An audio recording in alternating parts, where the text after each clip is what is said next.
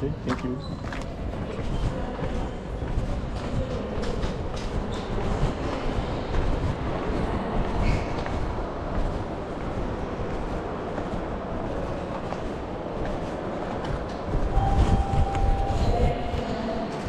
耶！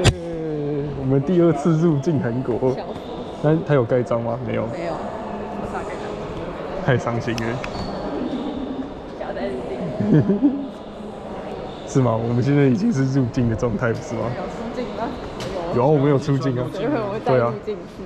我们又我们第二次来韩国了，耶！天，傻眼。高速旅游，那你的这个在里面吗？对对，因为我怕。等下？又出事，笑死。对，在楼下啊。